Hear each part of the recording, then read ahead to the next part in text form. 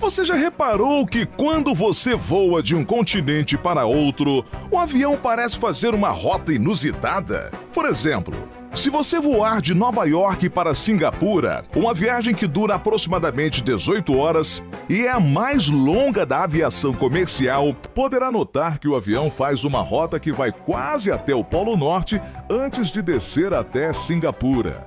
Isso pode parecer estranho e até contraproducente, mas na verdade há uma razão muito lógica para isso. Eu sou Donato de Paula, narrador do Mistérios do Mundo, e aqui está o nosso vídeo sobre a estranha rota do voo mais longo do mundo. Se você gostar do vídeo, não se esqueça de deixar o like, se inscrever no canal Mistérios do Mundo e ativar as notificações.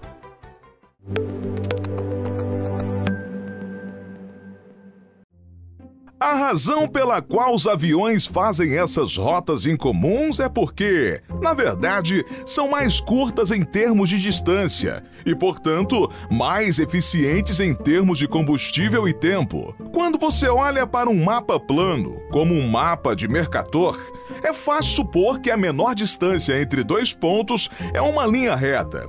No entanto, a Terra é um esferoide oblato, não uma superfície plana. Como resultado, a distância mais curta entre dois pontos em um globo não é uma linha reta, mas sim uma curva conhecida como curva geodésica. Isso é especialmente verdadeiro quando se trata de voos transoceânicos. Por exemplo, ao sobrevoar o Oceano Pacífico, que é o maior e mais profundo dos oceanos terrestres, os voos comerciais raramente voam diretamente sobre ele de leste a oeste ou vice-versa. Em vez disso, eles optam por uma rota curva para o norte ou para o sul.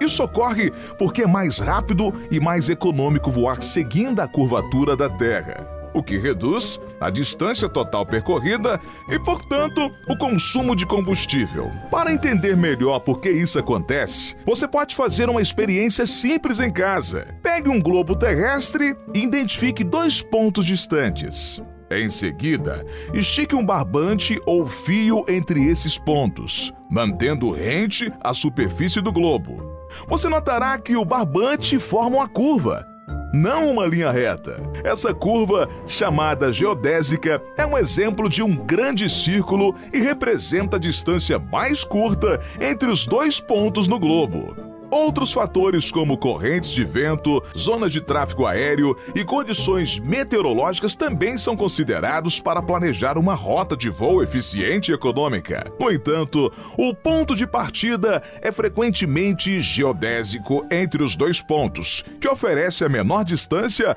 a ser percorrida.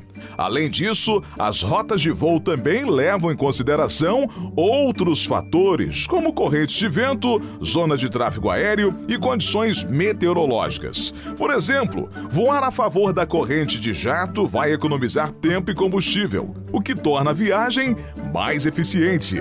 Então, da próxima vez que você estiver em um voo de longa distância e se perguntar por que o voo está tomando uma rota que parece estranha, lembre-se de que há uma ciência de uma lógica muito bem fundamentadas por trás disso. Pode parecer estranho à primeira vista, mas essa abordagem, na verdade, economiza tempo e recursos, tornando a aviação mais sustentável e eficiente. O vídeo de hoje vai ficando por aqui. Conte o que achou nos comentários. Até a próxima!